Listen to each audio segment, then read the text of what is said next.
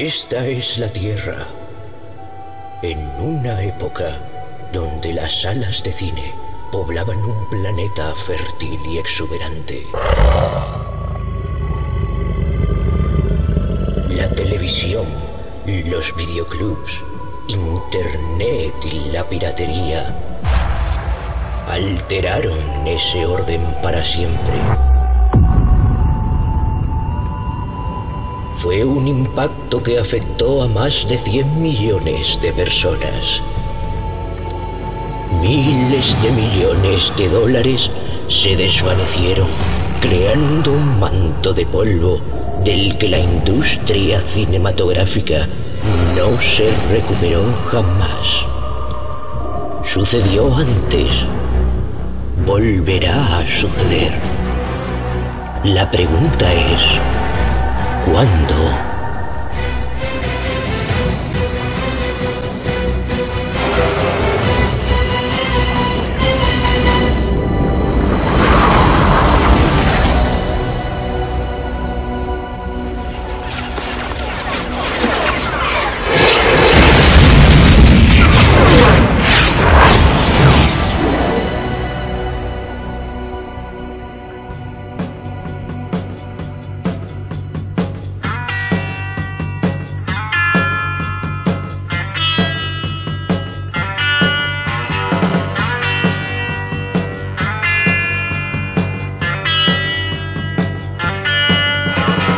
Bueno, pues aquí estamos en la Plaza Mayor de Plasencia. Yo me llamo Fidel García Gutiérrez. Me he dedicado en mi vida a la profesión de cinematografía, de operador y empresario. Y ahora, dentro de momento, pues nos vamos a ir a, a rodar, a, recordar al Teatro Alcázar de Plasencia. Vale, vamos.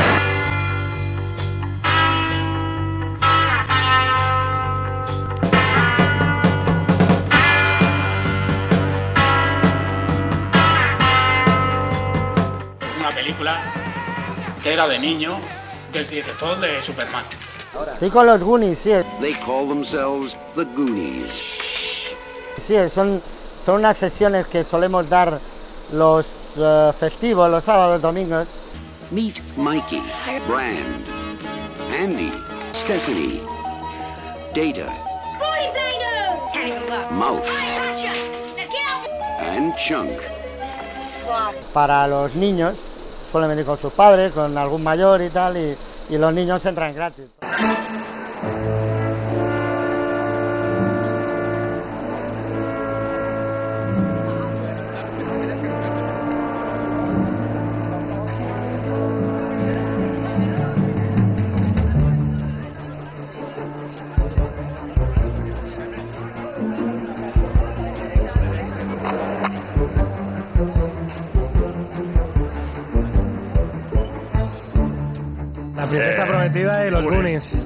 Mucho verlas en pantalla grande, sobre todo los Goonies, ¿no? Que es peli de estas de infancia, palomitera, de aventura. El ambiente es muy guay porque aplauden en las sesiones, la gente se ríe, grita, de todo. La gente hace muchos los mismos comentarios, todos saben, ya, ya se las saben de memoria y entonces lo disfrutan, todos lo disfrutamos igual. Pues yo lo veo como un concierto. Es una celebración del cine de los 80. y la gente interactúa con la película, a lo mejor hay secuencias que hay una frase muy célebre y la gente también la pronuncia. ¡Maldita sea! Esta es la parte que más le gusta a mi madre. ¡Ahí va! Son recuerdos de, de infancia y adolescencia y entonces pues es, es gracioso verlo. Es un poco la nostalgia que hay ahora de volver a los cines de los 80. Esto mola por esto, porque es, es como un- una comunión social, ¿no? They've stumbled onto a legend. But they're not alone.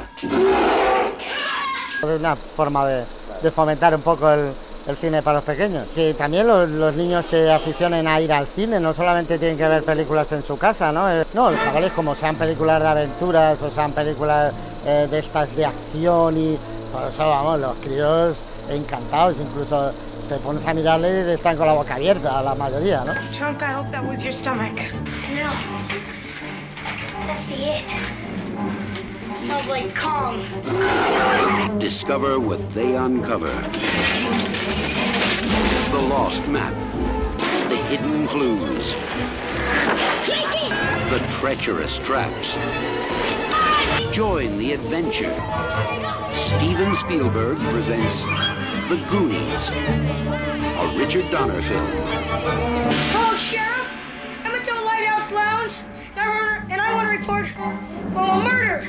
Just like that last prank about all those little creatures that multiply when you throw water on them.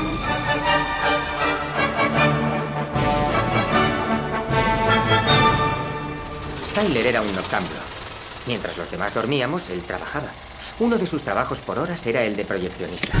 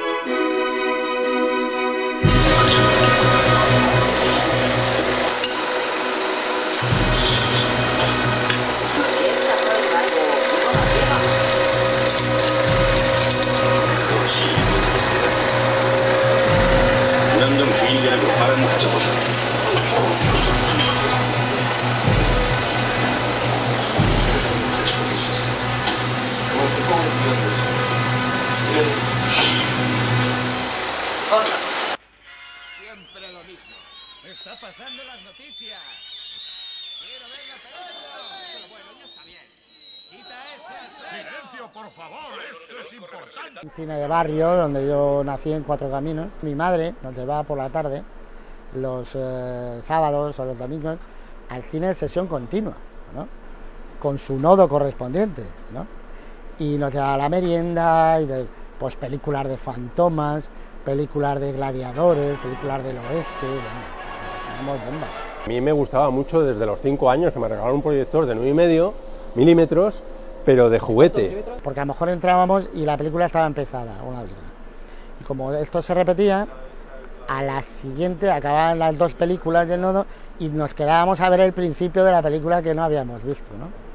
Sí, en realidad la, la película, que no era para hacer película, era para verla solamente, las vendían en algunas tiendas y eran pues rollitos de estos de 15 metros o por ahí, de 9 y medio. Eran solamente para, para verlas, para visionarlas nada más, eran como 3 minutos. La película ya estaba positivada, era positivo, en blanco y negro. Y entonces tú la compras como compras un DVD y lo pones en la tele y lo ves. Era un juguete al fin y al cabo, aunque era de hierro y bien hecho, ¿no? pero era un juguete del año 59. Yo ponía las películas me gustaba en el suelo, en, una- en la misma tapa del- de la esta venía la, la proyectaba con un fondo blanco y proyectaba las películas de Harold Joy, de Gordy el Flaco, de Charlot. La primera que vi yo era entonces, yo era chico, era muchacho, entonces no tenía yo cine ni nada, era un cine mudo, que lo daban con una manizuela y la, la pantalla era, no sé, por un, un carburo o algo, ¿no? Me acuerdo que se titulaba Un niño, un niño perdido en el bosque. Soy de los que piensan que una película te tiene que llegar, pues eh, no por, por, por la imagen, sino por el guion, porque te tire el guion. A lo mejor es un pensamiento un poco antiguo, ¿no? Claro, yo ahora puedo decir películas en blanco y negro, son obras maestras, ya, ¡buah! el blanco y negro, hablas con jóvenes y dices, no, no. Este era el Caballero Andaluz. Era una casa distribuidora que se llamaba Cifesa. Es el que tenía todas las películas españolas. Eh, Locura de Amor, eh, La Bolsa con los Puertos, Las de Molina. Y la gente cuando veía Cifesa, esta es buena. El Buscavidas, por ejemplo. El, col- el color del dinero, sí, fue una segunda parte que se hizo del Buscavidas. O sea, que gustaba el cine Gustaba, español. gustaba. Pero tal, estoy hablando de los pueblos, ¿no? La jungla de asfalto. Ciudadano Kane.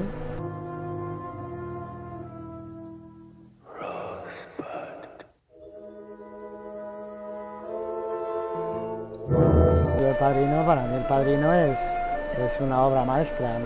A mí Coppola es un director Mm, Entonces de ahí han sacado lo que han querido sacar el señor Coppola. Esto, el libro, la densidad, la cantidad de nombres, de complicaciones, de historias que hay paralelas en El Padrino.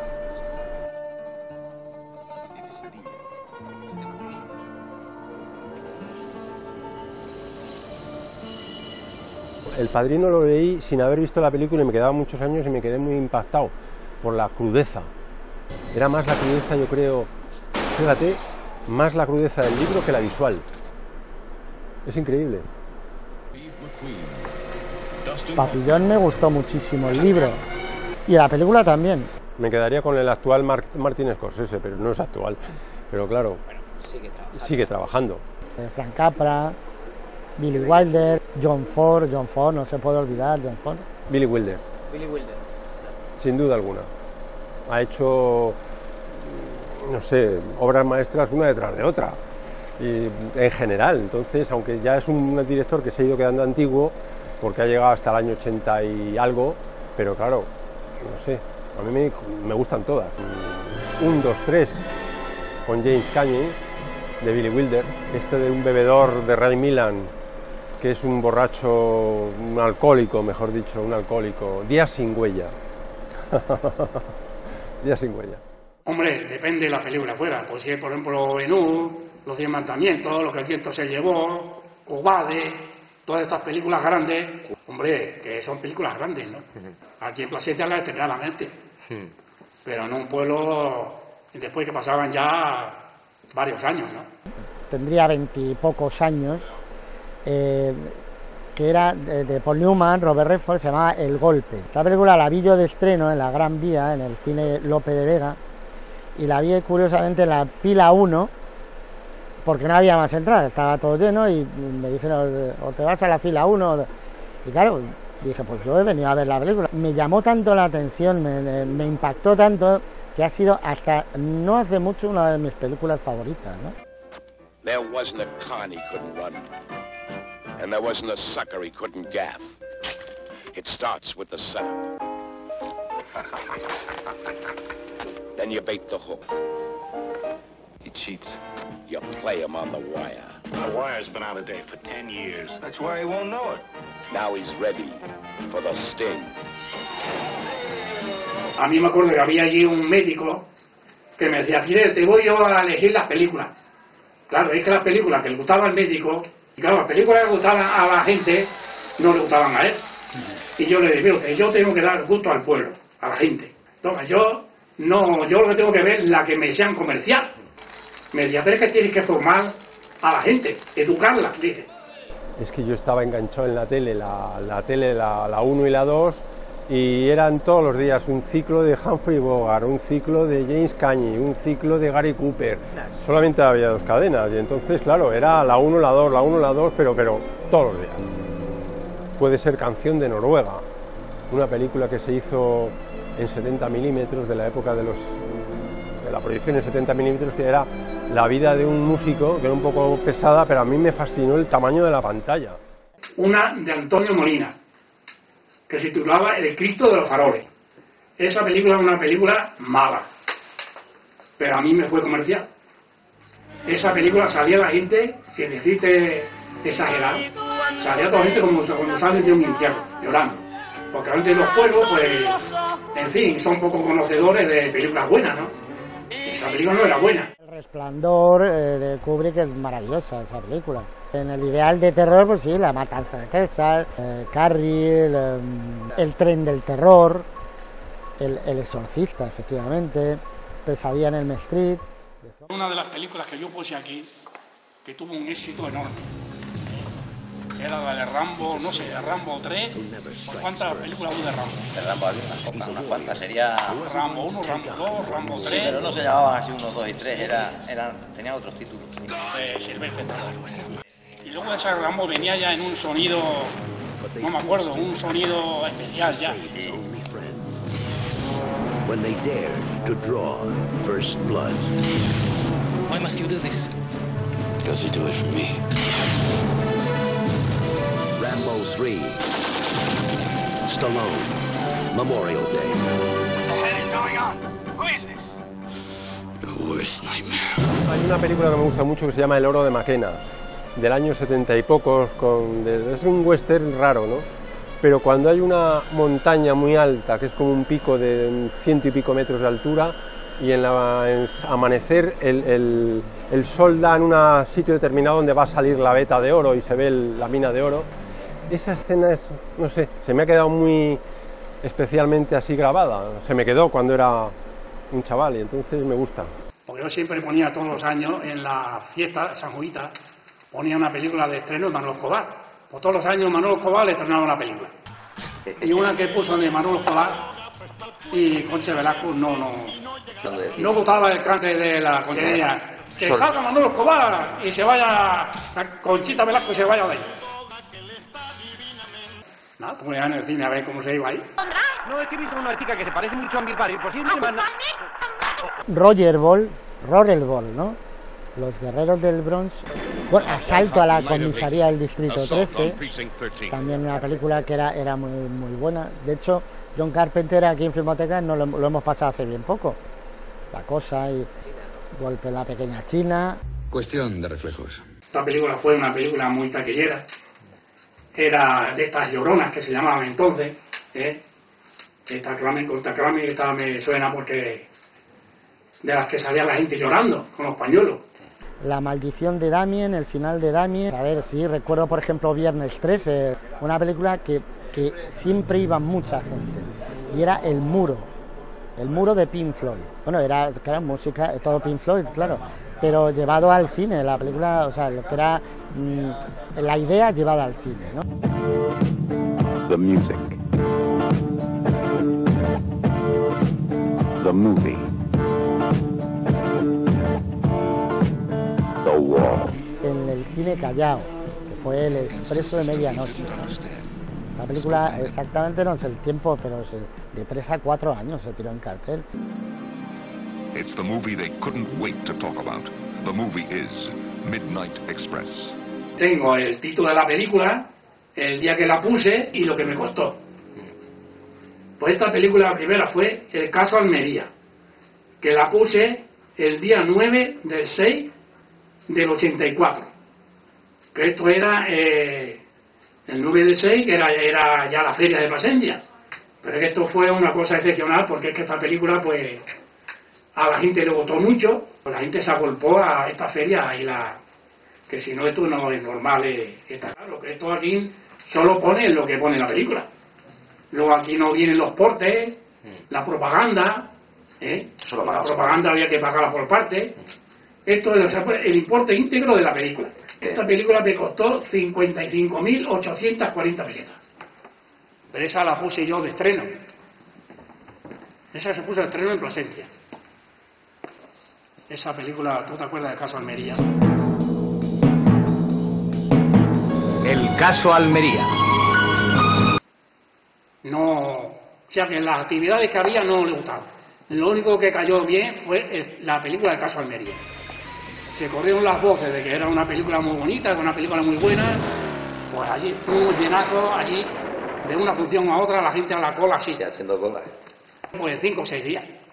Y todos los días lleno el cine. Y luego después, como yo tenía más pueblos, pues la puse en Carcaboso. ¿Cuándo y cómo? Esa me acuerdo que me dijo este Antonio Miguel, el empresario y el dueño de aquí del Teatro Alcázar, porque esa película no la contrató él, porque era una película española y no sabía el éxito que iba a tener, pero se arrepintió por no haberla contratado él.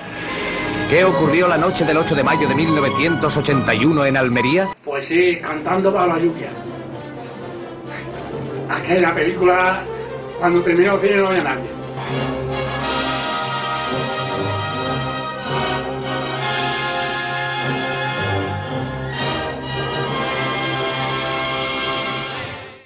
Esas películas de, Fox eran películas americanas, pero que a la gente no le gustaban.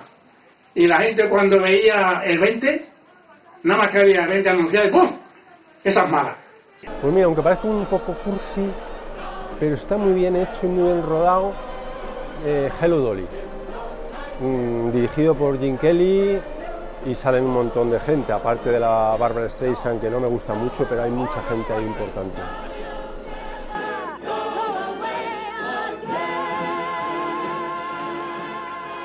Y sin embargo también había películas buenas, era de Siete Noches para Siete Hermanos, esta El Holocausto Caníbal, Holocausto Caníbal, ah, si es que está que me he pasado la... Seven, Seven, es el thriller por antonomasia. He proyectado Seven, sí, aquí en el cine de Olesa he proyectado Seven. Aparte trabaja un actor que es uno de mis preferidos también, que es Morgan Freeman. Hay siete pecados capitales.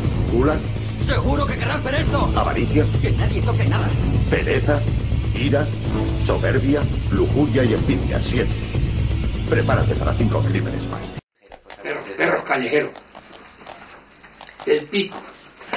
Esta se puso el día 9 del 9. Esta película se puso dos veces porque esta película ya, ya no sería estreno. Española, Atraco a las tres, por ejemplo, de José María Forqué. Hay películas antiguas muy buenas. Yo recuerdo una de humor que me gustó mucho, mucho, mucho. Fue la de Sorcitroen. Ah, la de por la... Era buenísima. La Rita Morales. La Rita Morales. La con todo su, es- su poco favorecida que físicamente, es una gran actriz. Es una actriz con la copa un pino y... De Madrid al cielo había una película que la puse yo. Sí, sí, de Madrid al cielo hay una película. Esta película fue mala, mala, mala, mala, pero taquillera al máximo. Fue esta de malagueña. Más de cada tres películas había que poner una española.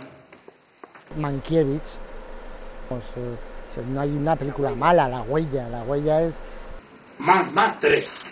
Más, más, tres. Más allá de la cúpula del, del trueno. Esta película se puso el día 13 del 6 del 85. Esta película también valió cara, porque era, era estreno. Mel Gibson, Tina Turner, Mad Max. Me costó 56.635 pesetas. Mira, Tony Leblanc, no me había importado. registrada. Una persona que, me ha gustado muchísimo, además está reciente su fallecimiento y me viene a la mente Tony Leblanc, un, un actor sensacional y creo que como persona también lo era. O sea que, que ya digo que para mí ha sido un, un gran actor. Mira, yo española hay una mujer que me encanta como actriz y es Remedios Cervantes. Porque han venido A raíz del teatro, ¿no? De venir en obras de teatro. Porque la que sale en el cine, esa no hablas con ella. Ahora, ahora, ahora dentro de pocos meses vamos a tener también una de las, una de unas buenas actrices españolas, la Maribel Verdú, vamos a tenerla dentro de poquito. Ah, pero esa ya no, ya estaba muy pasada.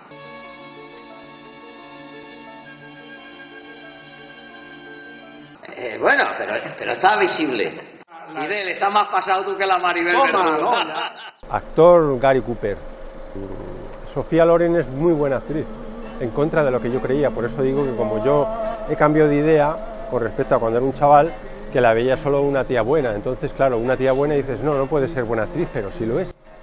Mucho mejor que, que Monroe, Marilyn Monroe, cualquiera otra de otra época que, que aparentaba ser una chica buena, una tía buena, pero O su forma de las cosas y Sofía Loren. Yo, una me, quitaste, mujer, me lo quitaste de la boca. o ha sido una mujer guapísima. O Leisa Minelli, también una mujer guapa, eh, interpretó también cantando bajo la, bajo la lluvia. Ana Belén, que no es muy actriz, pero es muy buena cantante. Pues sí, la del Pasoto, la niña de la abuela, la niña antequera. A mí me daban un tanto por ciento de taquilla, no, porque Manolo Escobar... Eso yo creo que Manolo Escobar no llegaba ahí ni por los pueblos. Pues Antonio Molina ya era cuando ya estaba ya bastante decaído. Porque cuando estaba en su furia, no iba Antonio Molina por los pueblos. Y fue una vez que fue con unas negras que fue allí, y aquella vez no cantó dos, dos veces o tres y no volvió a cantar más. Y salió la gente muy, que cante, que cante, cante más y no. Y luego volvió otra vez, otra fecha. Y luego yo tenía ya más la fama Molina porque decían que iba, cuando salía, antes de salir al teatro, que iba y chiflaba mucho. Iba ya, ya borracho. Luego ya ni salía a cantar ni nada. Y me acuerdo cuando yo, cuando fue allí, pues yo le dije a Antonio Molina, antes de actuar, dije, mira Antonio, que me han dicho esto y esto de ti. Procura que hay aquí, hay mucha gente, mucho personal que han venido a verte, a hacer favor de, de hacerlo mejor que la otra vez que tuviste. Entonces me dijo él estas palabras, mira Fidel, no te preocupes, que ahora ya verás cómo me van a aplaudir la gente cuando, cuando salga, cuando termine. Y esa, ese día es verdad que cumplió y cantó todo lo que le pidieron.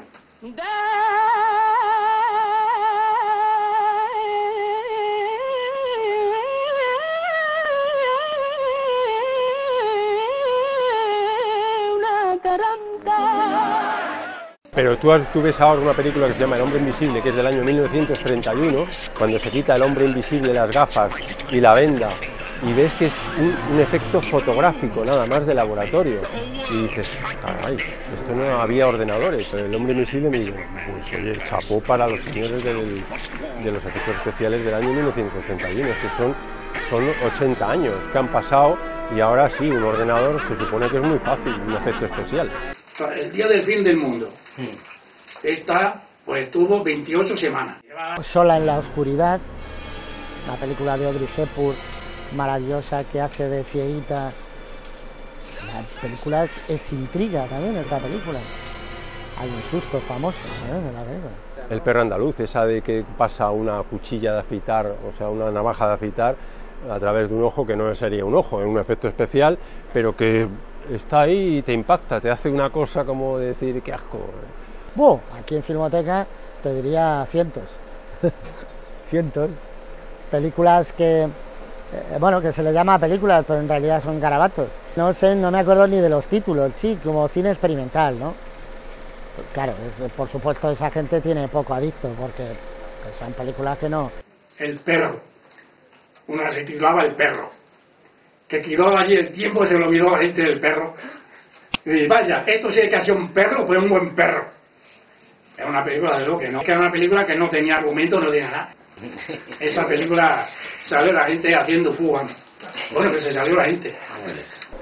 Se hacían muy buenas películas sobre la guerra de Vietnam, sobre guerra, sobre todavía, no sé, El cazador, que vamos a poner el mes que viene, es un pedazo de peliculón que ahora es imp- impensable que se pudiera rodar, porque no están los actores, no funcionaría. Los, los- los esquemas de la, de la sociedad, digamos, han cambiado bastante.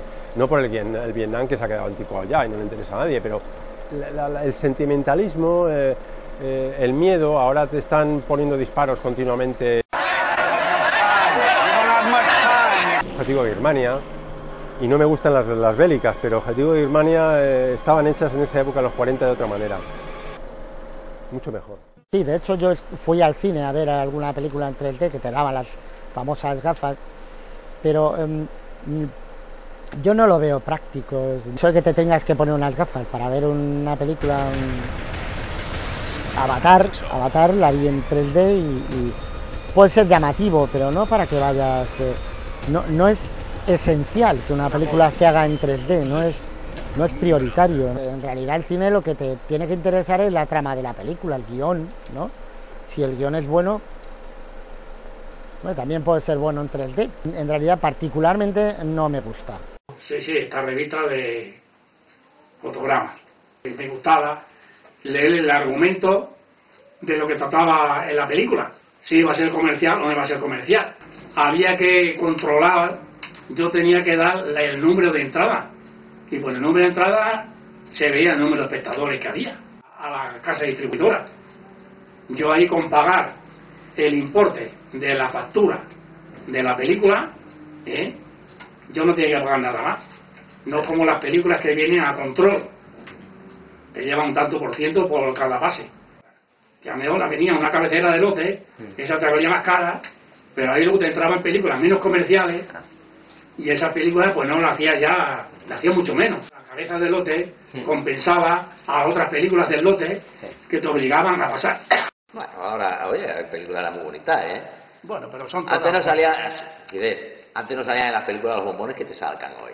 Bueno, no, hombre, vamos a hablar de películas. vamos a Ni te miraban, ni te, ni, ni te proyectaban en color toda De una, mujeres una- buenas. unas especies, unas especies del mar que si no hubiese por las cámaras o el cine o la adelanto no las habríamos De mujeres buenas siempre han salido en los teatros y en el cine, siempre han salido todas buenas, ¿no? Obligaban a poner en la cartelera que esta película es clasificada ese, que puede herir la sensibilidad del espectador, por lo fuerte que eran. La clasificada es esa, película, sí. Emanuel, sí, esa era de las pornográficas, pero esas eran totalmente pornográficas. Destape total y, vamos, pornográfico, sí, pornográfica de pornografía, ¿no? senno. pornográficas, francamente. Bastase que fueran ese y fueran tan fuertes, pues la gente era una cosa comercial y ya está, no. Nosotros, fuera más fuerte o fuera menos, era, tenemos que ver la comercialidad, ¿no? De hecho, en Madrid fue un boom, ¿no? Fue la naranja mecánica.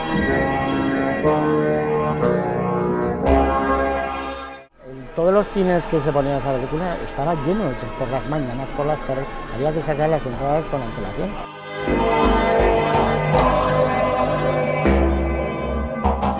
Ahí estaba yo. Es decir, Alex. Pues esto es una pierna. Estos eran los afiches que se ponían en las paredes, ¿no? Aparte de la- las carteleras, que aquí tengo el graduado, que es esta. Y esta, también, otro afiche, que también, ah, estos son las carteleras del graduado. Ah, estas son las mías. Ah, pues mira, ya no me acordaba. Toda esta propaganda había que pagarla. Nada más que antiguamente, pues, con el fin que las carteleras que eran de cartón, ¿eh? se deterioraban mucho en los portes, se, se arrugaban aquí por los lados. Esta era la cartelera que venía antiguamente. Pero se deterioraban por aquí por los lados y se rayaban. Y esta había que devolverla. Esta de la 20 Century Fox. Y no, pero esta no se pagaba, esto se pagaba un alquiler por ella. Lo que pasa es que estas quedarían por ahí por deterioro o algo quedarían, si no, estas carteleras había que devolverlas a la casa. Pues estas carteleras las mandaba a un cliente y luego se las mantenían que mandar a otro. Estas no. Estos ya eran compras, estas eran láminas que ya nos quedábamos con ellas. Esas ya no se devolvía, porque ya es papel. Pero estas sí. Pero estas dejaron de, de- de mandarlas. El ir a un estreno a la Gran Vía era, era un acto social importante, ¿no? Famosos afiches, la- eh, la- las carteleras, unas carteleras grandísimas, ¿no? Con, con- luces de neones, con... eh, era muy bonito, muy bonito. Se llenaban, por supuesto, las, las salas se llenaban, porque no eran multisalas, eran un cine solo, con su entresuelo, su butaca de patio, alguno que otro con sus palcos. Y yo sé que estaba la Gran Vía llena de cines, y yo que iba, cuando los que teníamos carnet de operador también teníamos una ventaja, porque podíamos entrar a cualquier cine con el carnet de operador, sin pagar. Sobre todo hay muchos cines que ya no son cines, que son eh, negocios o son grandes almacenes. Y ahora es que todos los cines de la Gran Vía que han, han desaparecido, por ahí me parece que era uno o dos. Eso no es buena señal. Es porque el cine va de capa caída. Madrid, capital de España. 2.647.253 habitantes. Crecimiento vegetativo 129 personas cada día. Un tipo duro y solitario que trata de sobrevivir en una sociedad podrida gracias a un trabajo sucio. There's a fire starting in my heart, reaching a fever pitch, and it's bringing me out the dark. Finally, I can see you crystal clear. Go ahead and sell me out, and I'll lay your shit bare. See how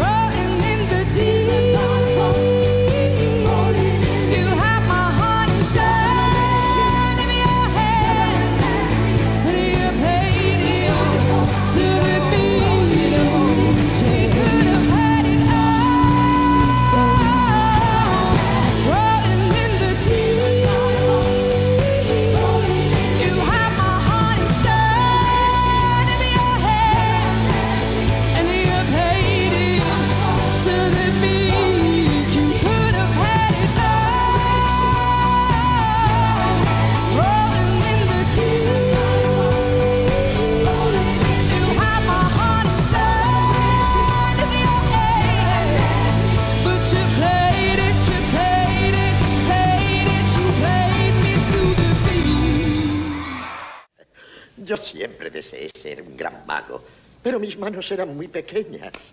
Y eh, mi padre era contable aquí. Me consiguió el primer empleo de portero. Aún se hacía vodevil y luego fui ascendiendo hasta proyeccionista. No es mucho, pero es del mundillo. Yo empecé en el año 79 en los cine ideal. Ahí empecé yo, hubo un- yo terminé la mili, entonces un, un vecino mío me comentó si quería eh, iniciarme en esta profesión. Y yo encantado, necesitaba trabajar en lo que fuera. Bueno, llegué cuando empecé, empecé con una de 16, pero esa, pues con el locate tan grande ya no se veía ni se pequeña, claro. Así que tuve que cambiar y, y lanzarme a comprar esta. Pero en aquellos tiempos, 106.000 pesetas era un dinero, ¿eh? Con unas pocas de letras, a base de letras. No pagué a la casa. Pero esta una máquina entonces de... de las buenas. Una cosa que ahora ya... lo que ha sido toda tu vida, y ahora Él era jefe de cabina del cine Capitol y entonces me comentó si me gustaría esta profesión y yo dije que sí, adelante. Entonces empecé a ir a, a cabinas de cine. En el año 88 había un cursillo en- de la Filmoteca que se hacía, me enteré en el Cine Torre de Madrid, que yo iba mucho, a- yo he ido siempre mucho al cine, entonces Era, era un cine clásico de barrio, de un cine de- de- del barrio del centro de Madrid. Dos películas o, o tres sesiones, una única sala, muy grande por cierto, que había 1.600 personas. Una- había 50 metros desde cabina a pantalla. O sea, era, era un cine muy grande. Ahora al hacerse multisalas... Bueno, 100 personas, 300 o 400, hombre. 300, 300 cabían ahí abajo. Empezaba la función aquí, luego después que ya oscurecía aquí, le daba media vuelta a la máquina y la gente salía aquí en un momento. Antes que salía la gente ya había dado yo la vuelta a la máquina. Igual que a lo mejor eh, ya en el último de verano, que a lo mejor hacía frío aquí en la última función, la primera mejor la daba aquí. Y luego la segunda, que hacía frío, decía, Fidel, que hace frío aquí dentro. Hala. Pasaban, cuando entraba la gente para acá, antes que entraran, pues, ya tenía yo la máquina preparada. Allí en el Torre de Madrid vi en las, donde estaban las carteleras, vi la, publicidad del cursillo de Filmoteca. Digo, hombre, pero es que era para, para gente, para titulados superiores de, imagen y sonido y tal, y yo no tenía ese título, que lo daba el Ministerio del Interior. Ahí empecé de ayudante, aprendiendo un poco la, la profesión. Este cine lo cogió otra empresa y se hizo pues de eh, especializado en cine de ciencia ficción, terror y cine fantástico. Entonces, todo el tipo de proyecciones era de ese tipo de géneros, ¿no? Venía mucha juventud. En la Facultad de Ciencias de la Información, en Imagen y Sonido, estuve un par de años, pero como era el año 76, la carrera estaba recién programada, eh, acababa de nacer hacía dos o tres años, porque la escuela de cine, que era lo que a mí me hubiera gustado, se, había cerrado cinco años antes. Sin estar la escuela de cine, lo más parecido a aprender cine era la, facultad en Ciencias de la Información, Imagen y Sonido. Ya en los cines ideal yo saqué el carnet de operador. Antiguamente eh, entré como ayudante y luego yo quería ser operador. Tener el carnet. Antiguamente había que tener un carnet para poder proyectar. Eh, tenías que pasar una serie de pruebas, unos exámenes y luego el carnet te lo daba la, la Dirección General de Seguridad, la policía. Tenías que ir a una comisaría a recoger el carnet. Yo es que me acuerdo que fueron una vez un inspector por allí, porque los pueblos iban menos, pero también iban. Y bueno, a ver, ¿quién es el, el empresario de aquí? Pues un servidor. Y el operador, yo, ya ve el carnet. Pues no le tengo. Claro, la multa. Pues no me acuerdo. Una multa, no sería muy grande, pero una multa. Pues no, pues tal. Porque es que la, la, la, la, la- la empresa, un cine no puede operar sin carnet. Ahí entramos en el tema de la economía. Que así te ahorraba, te ahorraba un, un- un trabajador y la idea de las dos cosas y, y te hacías de empresario y de operador. Pues quería enseñar el carnet de, de operador, de cinematógrafo, que tengo aquí en la mano, eh, convocatorias que hubo por mediación de los sindicatos de espectáculos, Pues yo me, me fui a Madrid a una academia que estuve 15 o 20 días allí para sacarme el carnet de operador. Que mucha gente, muchos empresarios fueron, como un tal Antonio Zuna de Montermoso, de los ricos de Montermoso, que él se creía que porque tenía dinero le iban a dar el carnet nada más así por la buena. ¿Y qué pasó? Que le suspendieron. Pero claro, los estudios estaban todavía mal diseñados. Había mucha gente en huelga, no estaban conformes, los profesores no iban. Pues yo me tuve que ir y a pencar y aprovechar el tiempo. Podría pagar una academia que me costó dinero. Pero me hizo, me hizo allí truquillos en la máquina. Me quedaron, la, por ejemplo, el, espejo desenfocado. Trucos que te hacen para suspender, ¿no? Yo hacía oposiciones. O sea, había algunas oposiciones pues, para la banca, Repsol, por ejemplo. Es la, la economía y la, la bolsa y de rentas variables y de rentas fijas. Ya no saqué ninguna de las plazas. Yo no sé, si volviera hacia atrás, a lo mejor había cursos o algo, o me metería en, en algo de eso. Pues no sé, yo el campo de luego no.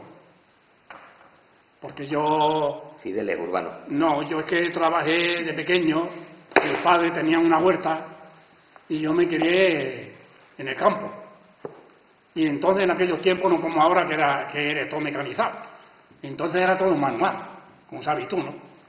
Y a lo mejor decía a mi padre, hay que levantarse hoy temprano y luego después, cuando venga el sol, y resulta que estábamos de temprano y estábamos con la fresca y con el calor. Lo que pasa es que, claro, eh, como ellos han vivido tiempos muy, muy duros, muy difíciles, pues están resabiados. Y entonces el gato escaldado. Pero era aburrido. hubiera sido cineasta, quizás. Sí, totalmente. No sé en qué, en qué aspecto, montaje o dirección, no.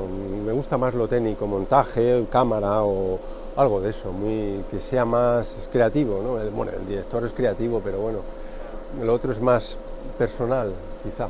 Estar en, en alguna de Kubrick, como dice mi compañero, porque era un tío especial, o raro, pero especial. Una especie de cerebro gris del cine, pero que un poco incomprendido, pero me hubiera gustado estar por ahí, que no me vieran, más que otro, aparte de, bueno, Billy Lee Wilder y John Ford y todos esos de siempre, ¿no? Pero bueno, esos estaban ya siempre a, en el rodaje ya irían, digo yo, a tiro hecho con lo que estaba pensado. En cambio, Kubrick siempre era el dueño de, de cada película. Yo en el cine ideal estuve seis años. Saber electricidad, saber mecánica. Bueno, pues toda la cosa de, cinema- de cinematógrafo. Es que además llega un momento en que, en que eh, con el- la proyección digital tienes que saber demasiadas cosas técnicas, de electrónica, de electricidad, de cómo funciona un proyector, que tampoco todo el mundo lo sabrá, me imagino, yo no. Eh, dentro de cabina había tres eh, niveles, ¿no? Era, eh, primero era el ayudante, el operador y luego estaba el jefe de cabina, que era eh, un poco título honorífico al que era más antiguo. Vámonos a la filmoteca, a la sala de proyección, porque fulanito nos va a poner una, a ver si nos pone una película, que eran amiguetes y tal. Y allí íbamos. El jefe de cabina era el que más mandaba, está claro, ¿no? Y era el que ordenaba y decía, te vas a poner a proyectar. Y te enseñaba y, y mientras él pues eh, te estaba supervisando el trabajo, pero el, el que en realidad trabajaba, el que daba el callo era el ayudante. Y yo en los demás pueblos, pues yo tenía ayudantes de cabina que se llaman. Los ayudantes de cabina, pero es que el operador es el responsable, como te diga yo, el que si alguna cosa pasa o algo ocurre, pues el operador es el que responde. Todos los lunes había un cambio de programación. Se hacía semanal, entonces yo era el encargado de eh, llevar las películas a las, a las distribuidoras y recoger las que, las que iban a pasar esa semana. Las películas venían aquí viajantes que venían de Madrid. En, en el resto del día me quedaba pues para, para preparar esas películas para la proyección ya del martes. Lo que pasa es que eran unos gitanos. Y cuando venía una película comercial, pues esa te la ponían por las nubes, más cara. Pero había que tener la bucología de que decía, esta película es muy comercial, esta película te va a hinchar, tal. No, que en el fijante no viera que, que tenías interés por esa película. Porque si te veía interesado por esa película, te la ponía mucho más cara. Porque es que había un poco de gitaneo, porque no tenían precio. Venían los títulos y los precios los ponía el viajante aquí. Y luego pues lo que me quedaba de tarde pues eso es lo que libraba. Si cuanto antes acabara, pues ese, ese era mi día libre. Y luego ya a partir del, del martes, pues ya era piñón fijo.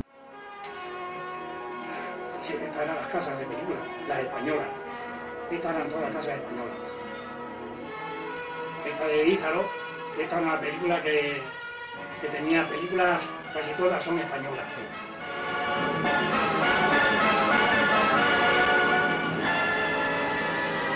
Distribuidor de películas esas estaba siempre, la distribuidora estaba en Madrid. Que había muchas, por ejemplo, como la Paramount, ¿eh? que todo el mundo conoce, la Warner Bros., la esta eh,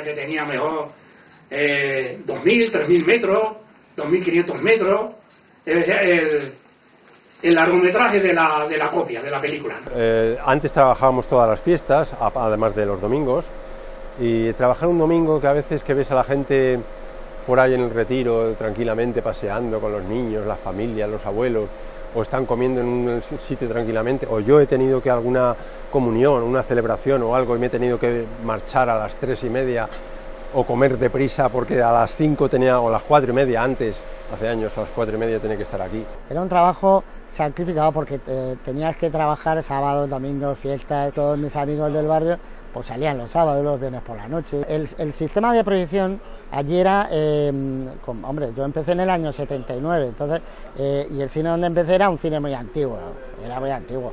Eh, de hecho, los proyectores eran del cine mudo. Eh, para, para, mm, para arrancarlos, para, para coger su velocidad, había que ayu- ayudarle, ayudarle con una manivela y luego darle al motor para que se pusiera a 24 fotogramas por segundo. ¿no? A su vez iba con carbones, en vez de haber las lámparas de xenón que son hoy en día, esto se trabajaba con carbones. La luz de, de la linterna era un positivo, un negativo, y, y ahí eso es lo que nos daba la luz, ahí con, con un espejo, que era el que nos mandaba la, el- el- lo que se veía en pantalla. ¿no?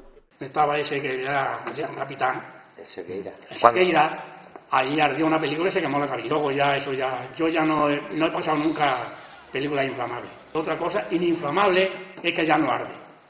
A lo mejor ponías un trozo de película en la llama y se churruscaba. Así que ya eso ya eso ya lo prohibieron, ya no.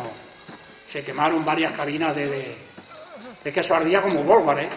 Era un trabajo muy esclavo, ¿eh? Se corta la proyección, y si es una cosa que no tiene solución, se llama al técnico, pero hay que devolver el dinero y cortar la, la sesión. Entonces, eso normalmente antes no pasaba en 35, porque podías, oye, que no enciende la lámpara, puede ser un fusible, puede ser esto, puede ser lo otro. Había un compañero aquí que llevaba 40 años eh, proyectando mm, cuando entramos a- al principio y él sabía todas las historias En Palomero. Hace. Pues tenía yo. Palomero, era- En Palomero. Era que echaba cine que se llamaba Cachibola. Sí, y entonces eh, echaba una película del oeste. Y para ver una película del oeste tardamos, que duraba hora y media, y tardamos en verla tres horas. Ah, ¿por qué? Porque se partía la película. se partía cada cinco minutos la película y cada, y cada cinco minutos que se partía y tardaba diez en, en volver a empalmarla. Sí. Pero es que Se entonces quemaba- eran muchos los cines que había. Y a las casas distribuidoras no les da tiempo a, a repasar las películas. Porque lo suyo es que la casa distribuidora, todas las películas hay que devolverlas a la casa. Y tienen que repasarlas antes de mandarlo a otro cliente. Pues para eso trae un, la hoja de censura y un boletín de repaso. Del estado que viene la copia, si está en primer grado, en segundo grado, en tercer grado, si tiene rayas. Antiguamente había muchas películas que. ¿eh? Ahora ya no, ya las copias son todo en la televisión porque son esos son, Son copias digitales. En realidad yo, yo acababa de cine hasta, hasta el gorro, ¿no? ¿eh? Y se partía la película, lo primero que había que hacer es dar la luz de emergencia rápidamente. No ponerse nervioso porque en el momento que, que se partía la película, en la sala se quedaba oscura. Y la gente empezaban a chillar y a gritar y a silbar, ¿no? Y eso había que evitarlo, ¿no? Enrollar un trozo abajo y luego arrancar rápidamente otra vez. Sin apagar la linterna, nada más apagar, apartar, cortar el cortafuego, pues si no corta el cortafuego, es que por la ventanilla, pues sabes que había la ventanilla muy pequeñina, ¿no? Y ahí pasa una temperatura que algunas veces cuando se quedaba un trozo de película entallada en la ventanilla, la quemaba rápido, ¿eh? Lo que pasa es que no ardía. Mm, yo dije, yo quería venirme con- a la filmoteca a trabajar. Cine Oderet lleva desde el año 89. 29 fue bisiesto es- ese año. Lo que pasa es que estuvo cerrado mucho tiempo. Este centro pertenece al, Ayuntamiento de Madrid. Hacemos realidad lo que, lo que han rodado otros, otros, los genios, que son los que hacen la película. Y entonces eh, está como mal, mal llevado, la gente lo da poca importancia, como si fuéramos unos porteros de una discoteca o de un sitio así que no, no es el que pincha, o el disc jockey, o el, que, el director de orquesta, o que es el que ha hecho la película, o- sino simplemente la ponemos. Pero ponerla, al fin y al cabo, estamos jugando con el formato porque el 1.85 que le han dado la manía a todo el mundo de ponerlo continuamente, estamos jugando con el encuadre. El otro formato es 1.85. Cuando viene el formato 1.85, pues tenemos que cambiar el objetivo. Todo. Mm, Cine negro, mm, lo que sea, que me sorprendan continuamente. El Cine Lorés es el museo del cine.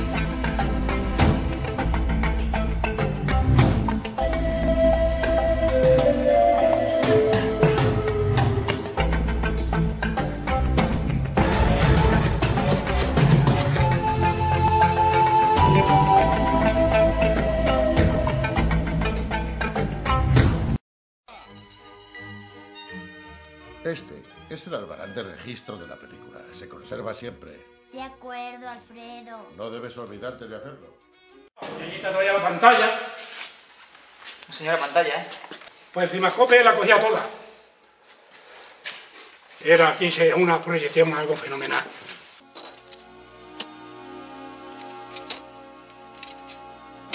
Os voy a enseñar la parte que no conoce eh, la gente, la cabina. En la cabina. Esto está todo oxidado. Esto era el palme de la película. Toma, echa un trago. Esto es una cabina de eh, donde se preparan las películas. O sea, aquí es donde eh, nos dejan las películas para su preparación y posterior proyección. Cada vez que hablo con vosotros, estoy viendo el tiempo que me queda para hacer el cambio. Es que son muchas cosas. Esto eran los trailers. Aquí hay todavía uno. En rollos. En rollos de, por ejemplo, esta viene, esta película se va empalmando hasta hacer, hasta crear el rollo. Eh, por, por la tarde Hacer unas marcas para saber cuándo está acabando un rollo y tener que empezar el siguiente, para que haya una continuidad en la película. En la sala, por supuesto, no se tiene que notar nada. Y bueno, todo eso tenemos que hacerlo pues con un tiempo de antelación, tenerlo preparado, poner las películas si vienen de final, de principio. A ver si está del derecho. Pues está del derecho. No, no, es que la... Ah, no, no. Pues está del revés. Hay que darle la vuelta.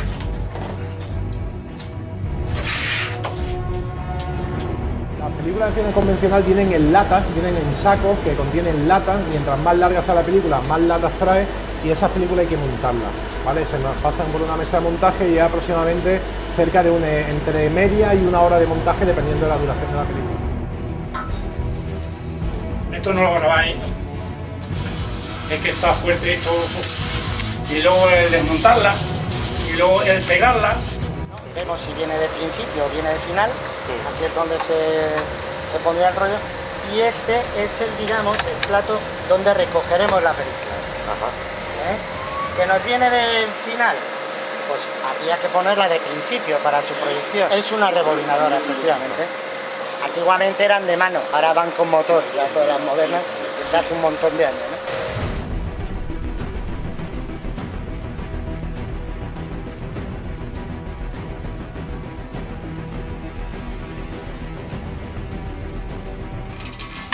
Por ejemplo, cuando se partía una película, ¿ves? Mira, tocáis aquí, se ve. ¿Ves el fotograma? Pues mira, esta es la Cinemascope. Pues lleva la franja aquí muy pequeñina, muy delgada. Y la que es normal lleva la franja más ancha. Esta había que coger, coger la medida y pegarla que confrontara los fotogramas estos. Por eso te diría, si se pegaba mal, pues salía luego un desencuadre en la pantalla.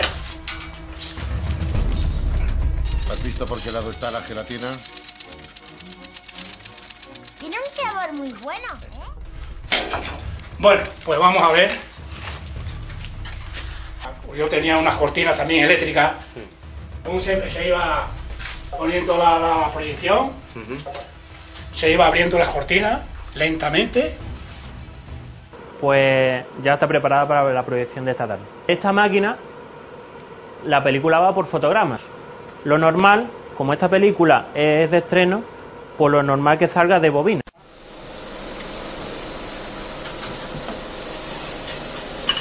La misma operación.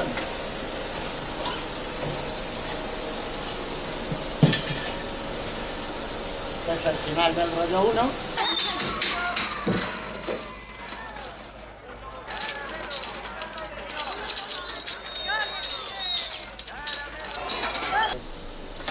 Por ejemplo, este rollo, este rollo son unos 17, 18 minutos. Esta película son 6 rollos y su duración original son 115 minutos. Ahora hemos terminado el rollo 1, está pasando el 2 y vamos a preparar el 3.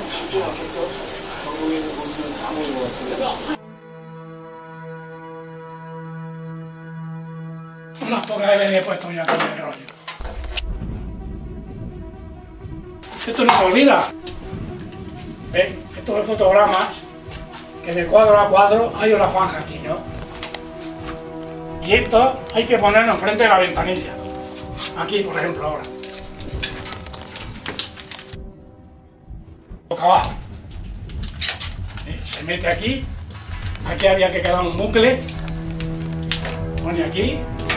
Pone así. Y así.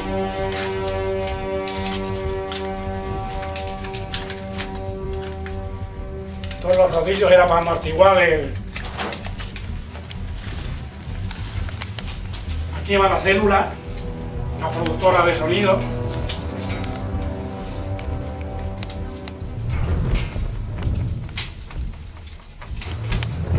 Y aquí lleva un bucle también. Aquí. Ya lo vamos a ver cómo se ponía la película. Esto para dar aquí el trinquete aquí a la Cruz de Malta. Pues esto es un bucle que llegaba aquí, me ponía aquí, como ahora le verás. Ahora ponemos el objetivo, prendemos la linterna, ponemos en marcha y si la película tiene más cope, se baja este, este objetivo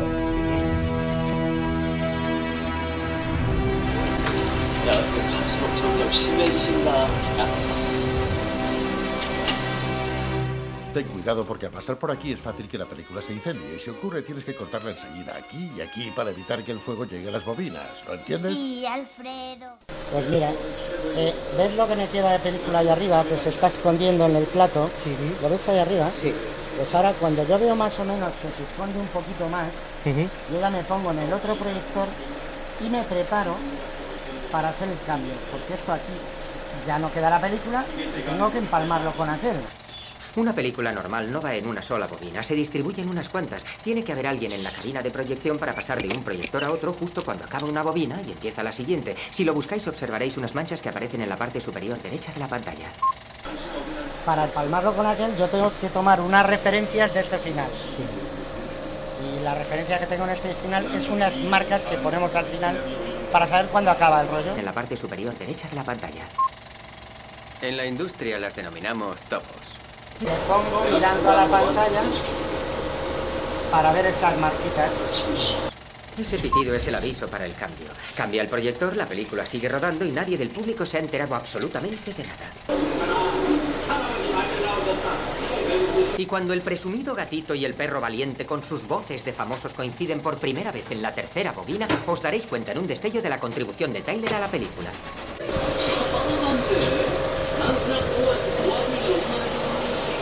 Este es el momento que hay que estar más pendiente. Allá afuera no se ha visto nada. Nadie sabe lo que ha visto, pero lo han visto.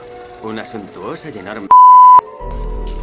Ahora ya nada, poner en marcha, se la luz, dale aquí, levantamos aquí, el cortafuego Y ya está, marchando la, la película.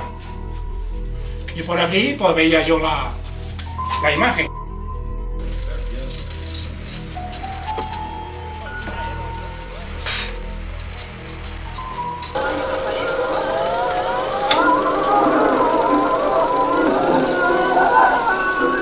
Ahora mismo sí, es 35. La máquina de 35, la máquina convencional de proyección, la que se usa en prácticamente todos los cines, con sus correspondientes platos, que es de donde sale la película, eh, imagen analógica y sonido digital. La máquina, por los lectores de sonido, que es esa luz roja que tenéis ahí, el, Dolby Digital, el LED rojo que se llama, pasa por delante de la, lámpara, en este caso una lámpara de 5000, es una sala media, no una sala de 320 butacas. Que hay otras veces que tenemos que pasar DVDs o Blu-rays, eh, prácticamente todo tipo de proyección. Proyector.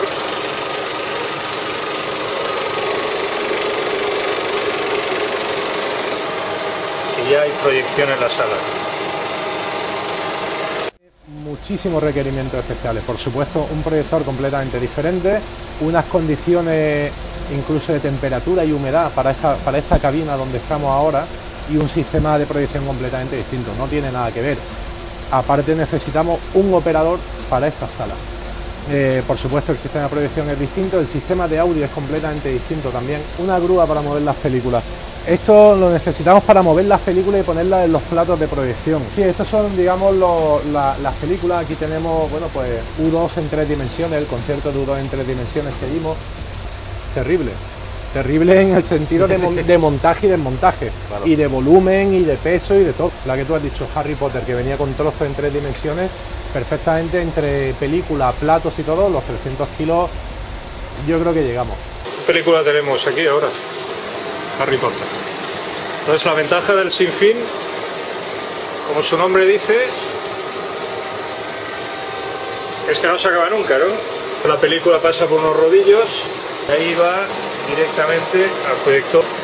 Y cuando sale del proyector, vuelve por los otros rodillos abajo, viene por aquí, se engancha aquí en el plato sin fin. Aquí estamos, en- como ven, aquí la película se va recogiendo. La película como eh, tiene una dimensión muy grande, pues unos 7 kilómetros. Por un lado recupera la cinta por el centro, ¿no? Y luego la coloca por el exterior, ¿va así o no? Estos son los famosos platos sin fin de Kelonic. Este es un plato de proyección. De aquí sale la película con unos rodillos que llegan hasta el proyector, que es un Victoria 8, es uno de los proyectores más sólidos y robustos que que han existido.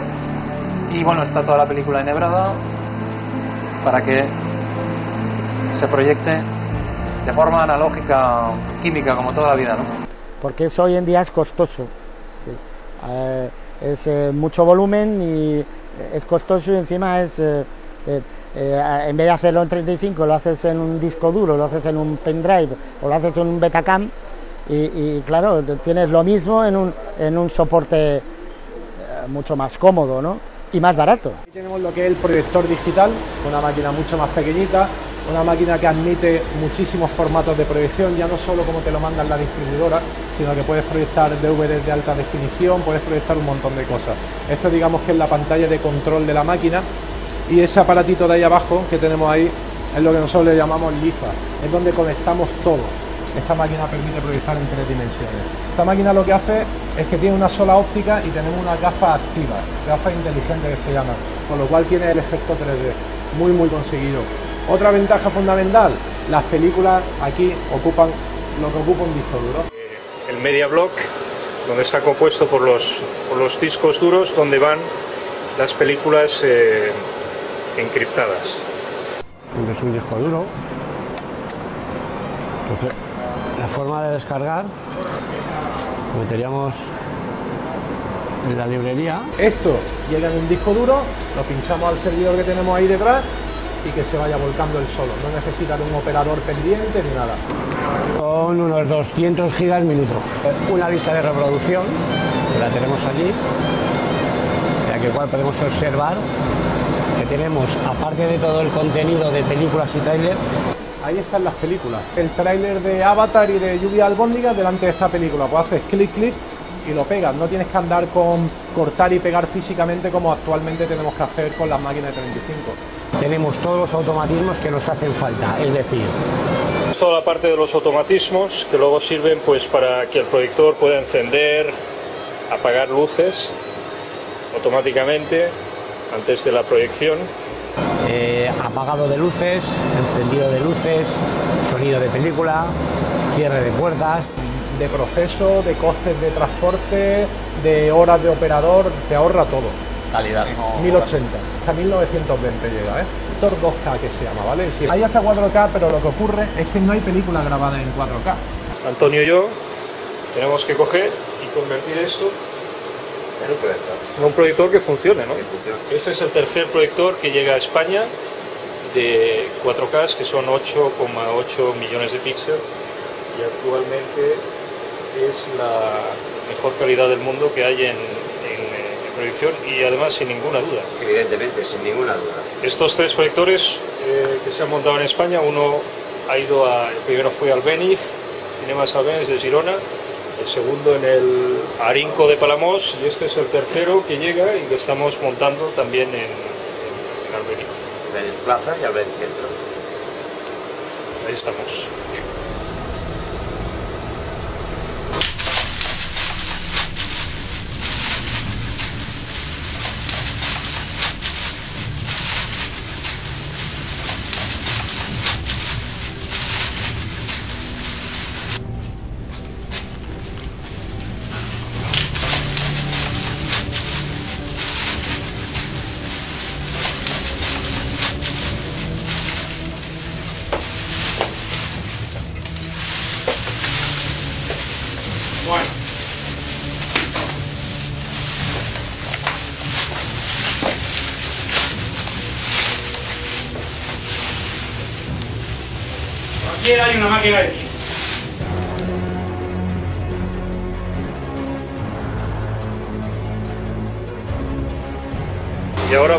Al proyector digital.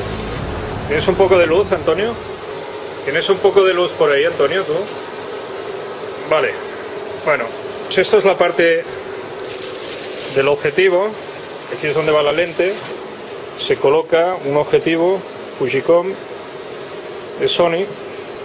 Estos son los reguladores. Izquierda, derecha. Izquierda, derecha. Y este de aquí es... Para subir y bajar. Muy bien.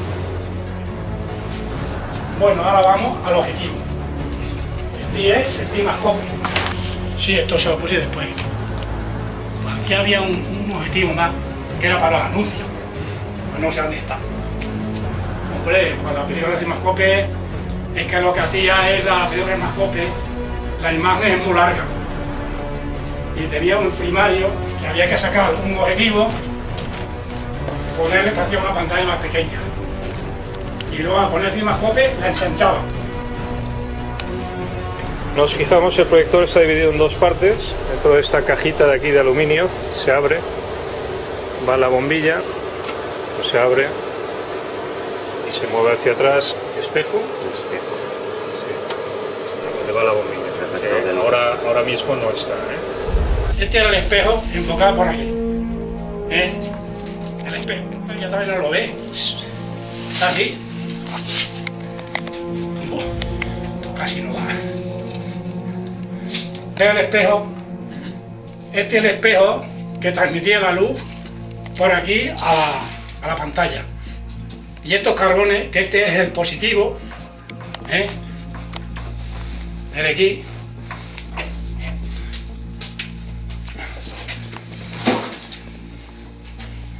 estos electrodos había que juntarlos, pasa que está todo, ¿eh? había que juntarlos así y que quemaran completamente enfrente.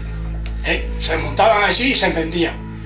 Y luego separarlos un poquito y esto daba la- una luz aquí que iba, enfocaba aquí y este es un cortafuego. ¿eh? Mira, enfoca ahí el cortafuego, ¿me ves ahí? Enfoca ahí el cortafuego. Esto se encendía la linterna, había que cortar el fuego ahí para que no pasara la luz aquí, pues se quemaba la película y se quemaba todo ahí, ¿no? Bueno, esto son las carbones. Y luego... El peso del proyector puede ser de unos 400 kilos aproximada- aproximadamente, entonces para llevarlo es mucho más sencillo de tener los dos bloques. Et voilà, le projecteur est complètement monté maintenant. Con 2K me parece que una resolución más que suficiente es lo que llamamos Full HD en casa y es una maravilla. Vamos. Cosa- otra ventaja, la imagen no parpadea. Cuando estás viendo una película en 35 normal, de vez en cuando, sobre todo cuando salen letras, notas un poquito un, un pequeño tembleque de la imagen. Claro, es todo mecánico, esto es todo digital y proceso electrónico. Esto es como si tú en casa tienes un cañón, bueno, de hecho ya han salido cañones para casa de alta definición. Esto tiene una lámpara de 6000, ¿vale? Una potencia de luz espectacular. El único inconveniente, por decirlo de alguna manera, que tiene este sistema es que digamos que las pantallas no pueden ser muy grandes todavía. Ojo, estamos hablando de una pantalla de 250 metros cuadrados. Extractores de calor. Ten en cuenta, imagínate una lámpara que tiene 6000 de potencia que esté encendida durante dos horas. El calor que eso genera. La luz que viene fuera de la calle es luz alterna. ¿eh?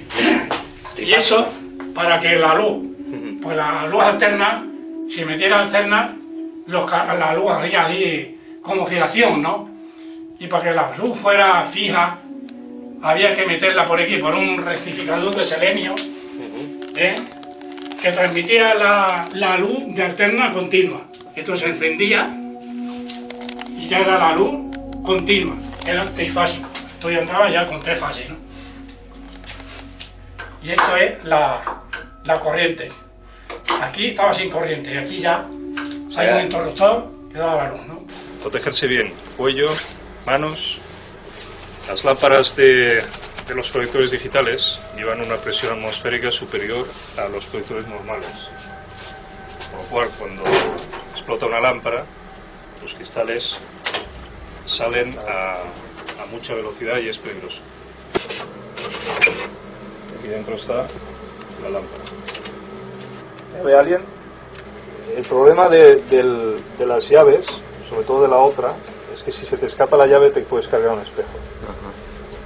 La lámpara tiene que hacer 700 horas. A partir de 700 horas no tiene garantía. Si peta la lámpara, por la presión atmosférica que llevan estas, que es más alta que las demás, se rompería el espejo.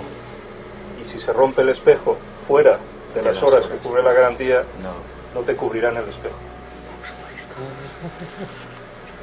Y ahora es una lámpara de cine digital que como podéis ver, no te acerques mucho, está bastante negra.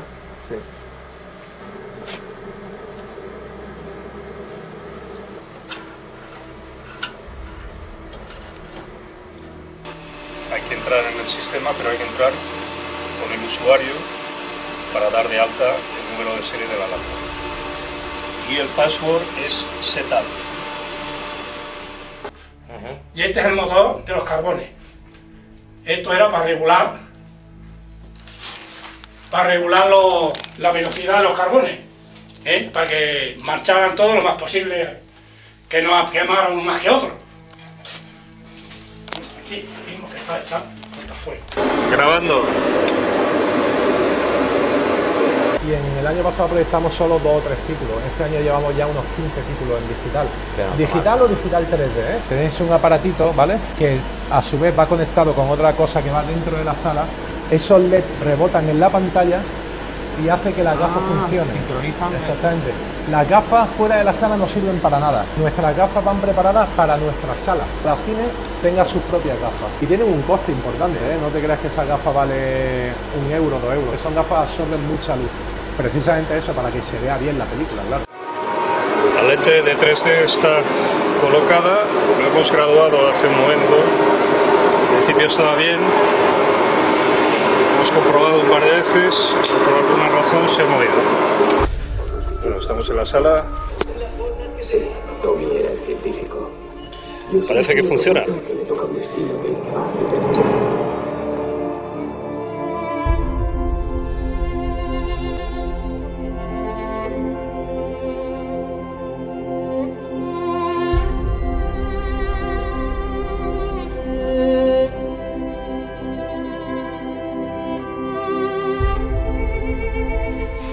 Me parece una máquina que funcionaba una maravilla. Una proyección daba, una, una visión. Y arriba, pues mucho. porque aquí suelo subir poco. No me gusta subir aquí. Claro, pero recuerdo triste. Bueno, vámonos aquí porque no, no me encuentro a gusto aquí.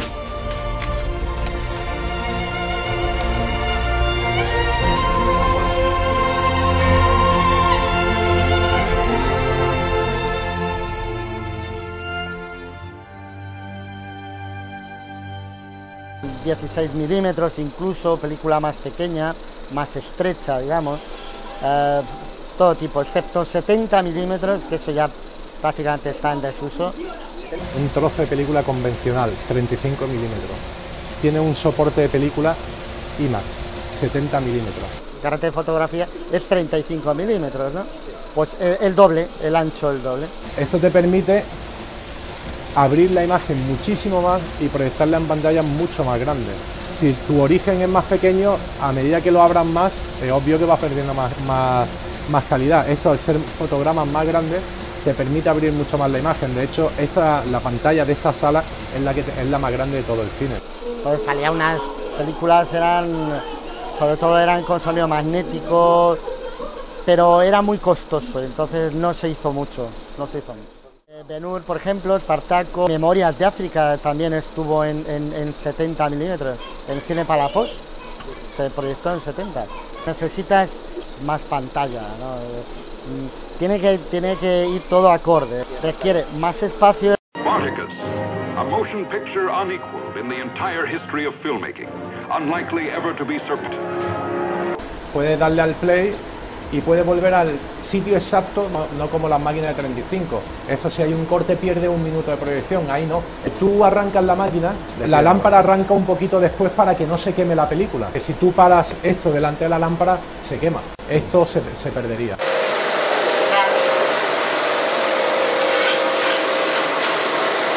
Va aquí afuera, ¿lo ves? Perforación y perforación. Es que, que hay como...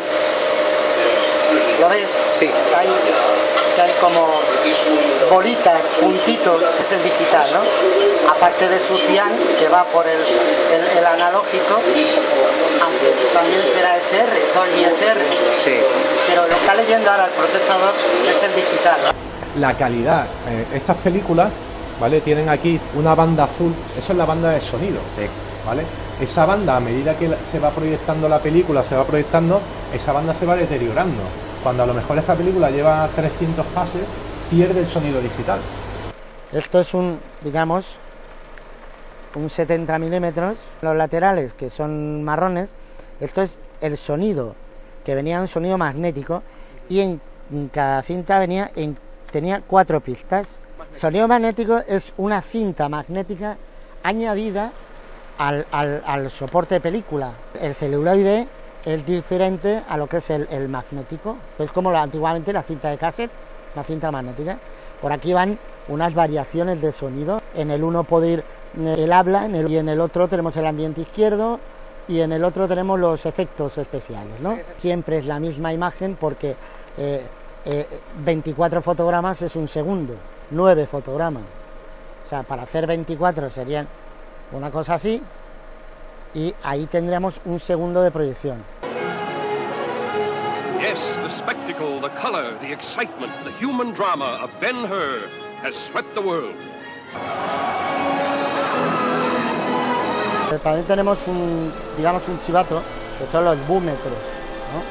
Entonces, por unos búmetros, aquí yo vemos cuáles son los altavoces de pantalla y sabemos mm, los picos del, del- del sonido. ¿no? Estos son los racks de sonido de la sala, el procesador de audio del servidor con su correspondiente pantalla. Ahí están las películas. La industria del cine va muy, muy deprisa. Creo que muy artificial. Se hacía más al natural, por ejemplo, en, en una película que eh, tuviese que grabarse en, en unos exteriores, buscar paisajes. Entonces creo que antes que se buscaban mejor los paisajes y los sitios y las zonas donde grabarlo. Ahora ya se hace por ordenador todo. todo. Se inventa un bosque, se pierde un poco el encanto y la magia de, de lo que es el cine, sí. Mm, Yo he renunciado muchas veces porque hace ya más de 20 años que no voy a un cine comercial habitualmente, porque antes iba muchísimo, pero desde que estoy aquí voy muy poco. Con los últimos avances técnicos que hay, la profesión de operador cinematográfico tiende a desaparecer. De hecho, hoy en día no hay, no hay academias que te enseñen esta profesión, porque puedes estudiar imagen y sonido y saber, saber lo que son los proyectores cinematográficos, ¿no? Sí, ¿por qué no? Si, si les gusta, sí. Lo que pasa es que, bueno, si han estudiado a lo mejor una otra carrera superior, de título superior de otro tipo, pues a lo mejor esto es muy poco para, para que en un momento dado puedan satisfacerles para su vida y el dinero, y no se gana mucho aquí, en fin. Pero vamos, sí me gustaría. Si tiende a desaparecer, futuro mm, es complejo. Entonces yo preferiría que se dedicaran a otra cosa que tuviera más futuro. Lo que más me gusta es el tocar la película todos los días, o casi todos, porque ahora hay mucho digital. La película en 35, prepararla, hacer un empalme. No es que me vuelva loco, pero mm, es, mm, es algo de táctil y maravilloso. Está, a ver, el cine tiene futuro, pero eh, con otros aparatos más técnicos, menos artesanos. Lo que menos, tratar con ciertas personas de jefes que no entienden cómo funciona una cabina de cine. y entonces, pues, son funcionarios, no hablo de un funcionario, funcionarias en femenino. Entonces no les importa un bledo. Desde luego, el ir a ver una película al cine, donde esté eso, que se quite el de casa. El de casa tú lo estás viendo en una pantalla de 40 pulgadas, 42, como mucho, si tienes suerte de tenerla. En un cine tienes una pantalla de 20 metros. Le hemos dado una idea a, la programadora y, y sí nos la, nos la ha aceptado. Pero son cuestiones de todos los días. Sí, el roce continuado de decir, oye, que ahora no, que tenemos que probar, que tenemos que probar para que esa proyección salga bien y la gente no se queje, porque si no hemos cambiado, hemos cambiado de objetivo, sale un borrón. Y si sale un borrón, la gente, tú estás ahí sentado y lo ves fatal. y mucho más cine, o sea, es que se, se ve como más natural, todo lo que, lo que es, no es, es, es más eh, artesano, yo creo que es más artesano. transmitir el, el cariño por la película, por la película en 35, por cómo, cómo funciona, cómo se oye, cómo la vas viendo en la ventanilla, el cambio de un objetivo con otro, cómo cambia la, la- la- la pantalla dependiendo de la- del formato de la imagen. Como ahora tiende a desaparecer el 35, todo va a ser en, en digitales, en- pues eh, incluso vas a poder proyectar desde tu casa, en una sala, por medio de internet, se puede hacer perfectamente. Dar, dar una proyección desde cualquier parte del mundo. más renovado, más moderno y que tendrá todo el mundo y podrás pinchar una película como si fuera un estreno en un cine de una sala de la Gran Vía. El futuro de la industria, desde luego, eh, lo que es eh, lo que era antiguamente, que era 35 milímetros, eso va a tender a desaparecer. digital, totalmente digital y metido en unos canales distintos al que hay ahora en una sala de cine. Por lo tanto, mm, eh, no es una profesión que, que tenga mucha continuidad. Siempre habrá, habrá alguien que tenga que hacerlo, pero con unos medios más, eh, más cortos, menos eh, físicos. El, el tema de poner la película, engancharla, poner, meter las perforaciones, la ventanilla, el- la ruedecita del rodillo de cruz de Malta y todo eso y saber que es una película de los Lumière. Sí, un consumo doméstico y relativamente muy pequeño en salas comerciales. Y últimamente cuando yo ponía aquí en el cine de verano, estaba aquí Aniano, y ¿sabe lo que hacía Aniano? Pues cuando veía las películas que yo las anunciaba en la cartelera, antes que las pusiera yo, las ponía en el vídeo. Sí, ya está, eso. No creo que por eso nos lleven a la... Entonces, en aquella época sí no me llevaban a la cárcel, por eso, ¿eh? Hay que tener cuidado que se hablaba. Y luego había mucha piratería en el vídeo, porque hubo una época que había muchas películas que teníamos aquel tiempo para poner en el vídeo. Pero que la pirateaban Esta película debe llevar el nuevo Antiguamente ponían películas en el vídeo, no sé si lo habrás tú, pero muy nuevas, muy modernas, ¿eh? Mucho antes de poner en el cine. Igual, igual que Y ahora a se bajan, también que ya haya pasado también aquí en la casa. igual que se bajan de internet cosas ahora, se, se pirateaban, entonces la- se hacían grabaciones piratas. Miren, compré esta película pirata. Ay, mija, pero comprar una película pirata es como robar, ¿no? Ay, no, mamá, yo no la robé. Yo la compré. Además se ve buenísima. ¿A dónde vas? Con mis amigos. Mañana tienes examen, tienes que estudiar. No hace falta. ¿Cómo que no hace falta? Tienes que estudiar. Ya conseguí el examen. ¿Conseguiste el examen? ¿Lo robaste? No, no lo robé. Lo compré.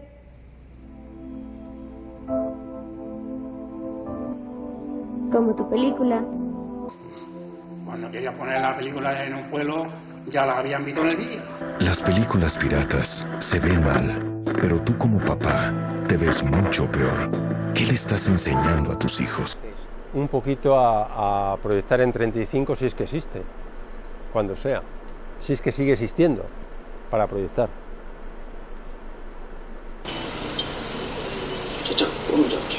En realidad todo lo que me estás preguntando no es para aprender un día, ¿eh? Yo empezaría por, por lo más básico.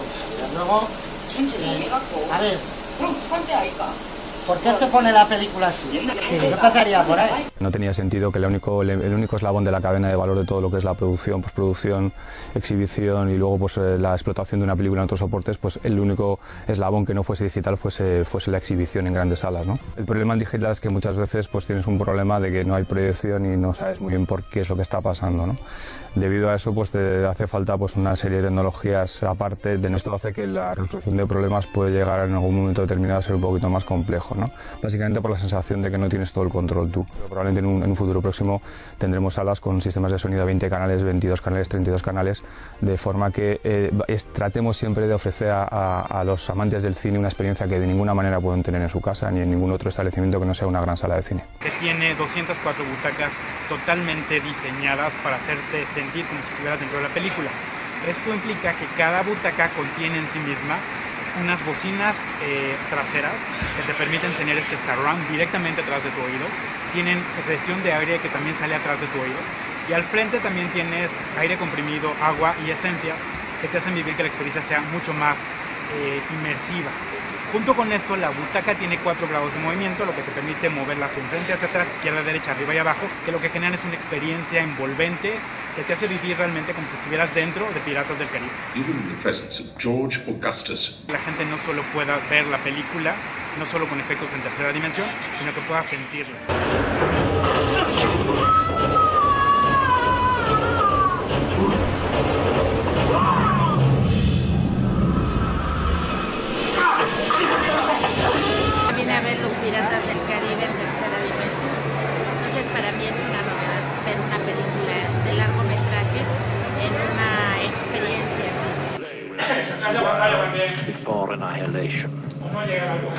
Y un montón de ellas he visto. Flash Gordon.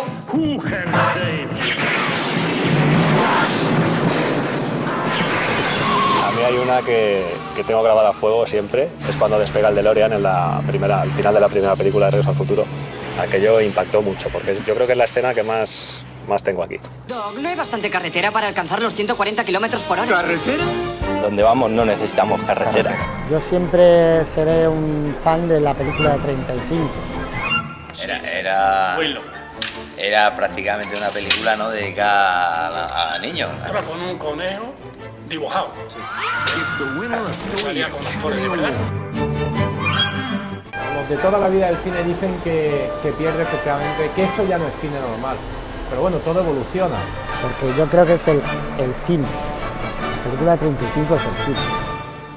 Es la celebración de una determinada forma de ver cine que existía hace ya muchos años, era el clásico cine de barrio, el programa doble, y creo que es más bien un acto social.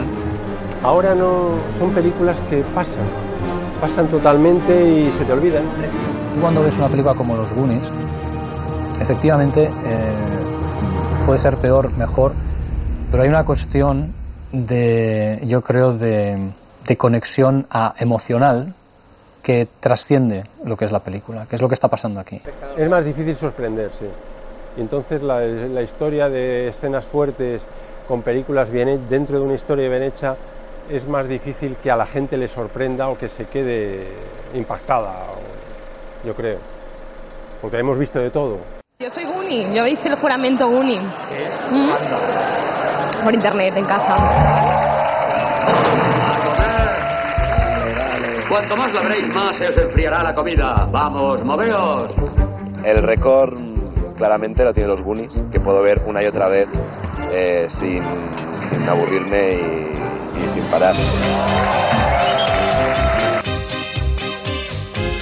Ete, los Gremlins, que la vi hace poco además, y eh, de Princesa Prometida. ¡Ah, sí! Se me había olvidado. Por eso digo, como escasea un poco la imaginación, debe ser pues que, que- que están continuamente sacando películas, historias y guiones y novelas de otras épocas. No hay gente que cuente historias con garra, como pasaba en otras épocas. The most unusual gift he ever got. What is it? It's your new pet. Come on, Barney, be a good dog. Y es que he visto tantas películas que, que son historias que luego se te quedaban en la cabeza. Me acuerdo del Furor del Dragón con Chuck Norris. The ultimate, the way of the dragon. Pat Spencer con Tennessee Hill. Buen Spencer.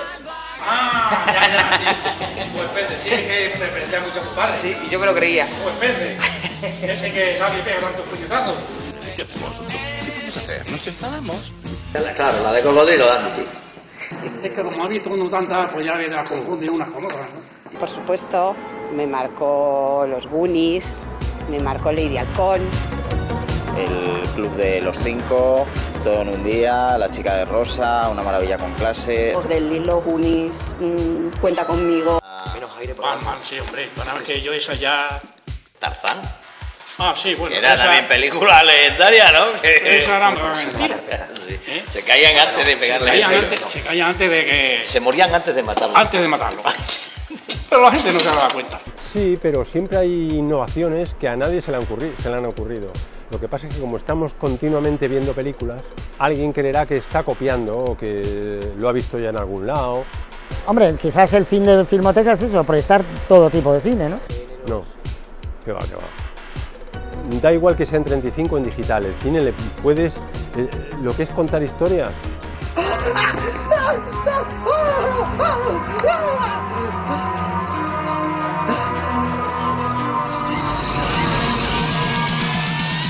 Cuando la pantalla se apagó, ¿no? Y empezaron a ir los cazafantasmas, ¿no? Y con esa canción que ya era súper fan de la canción, ¿no? Y escucharla a ese volumen. Grabando. Pues te voy a poner el sonido. Vamos a sincronizarlo. Te ves guapo, ¿no? A mí me gustaban las películas de antes más que las de ahora. Yo me quedo con las antiguas. Me debo estar haciendo mayor.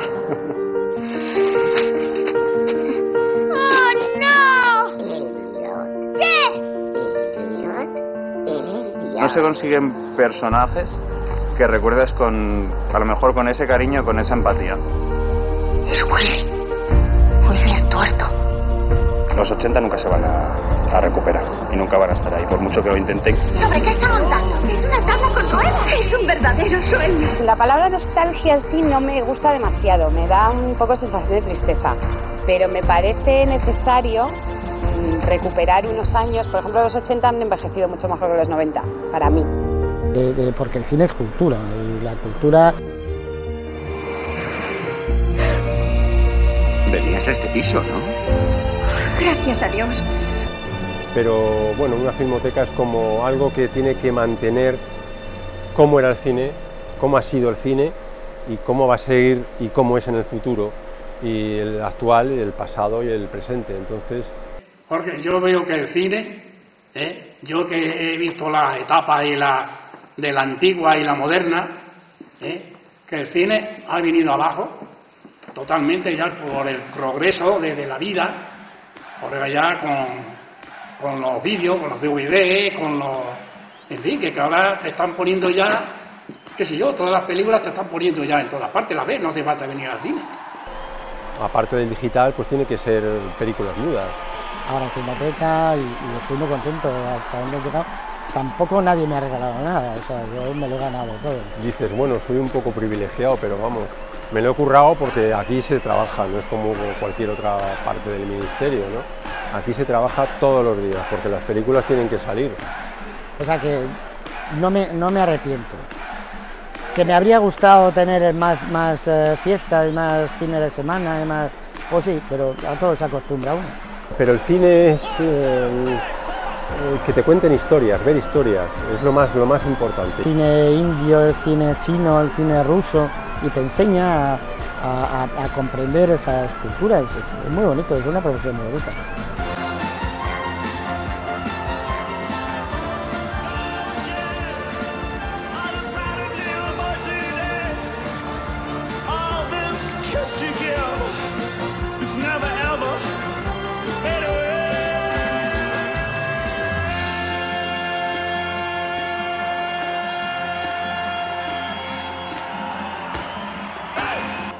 Última cosa es que esto ha sido toda mi alegría y ahora ya tristeza.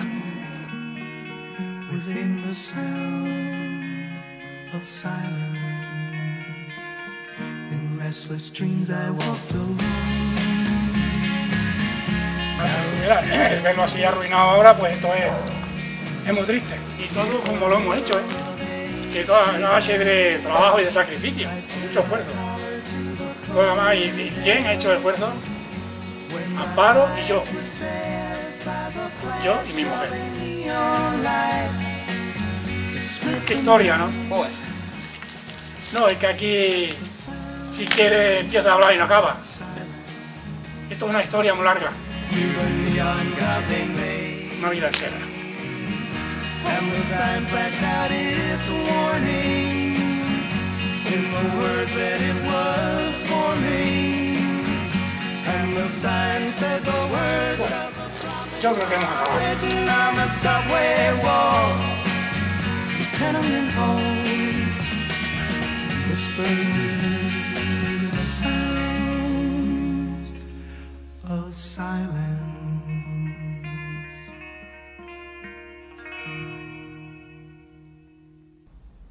Vemos si el señor Slater gana esta vez. Jack Slater no puede perder.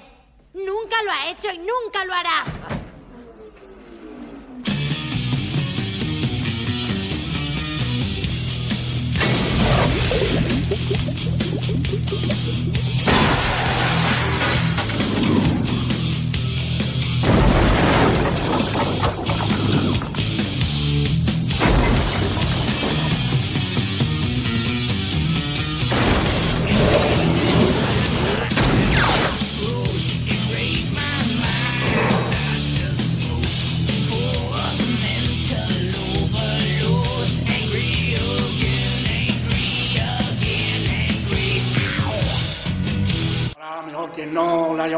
cine, pues no le gusta tampoco que hayan hablado de cine.